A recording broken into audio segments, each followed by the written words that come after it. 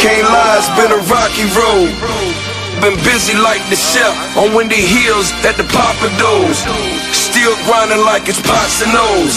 I'm off the coast, Still Solo hit my line when the deal is closed.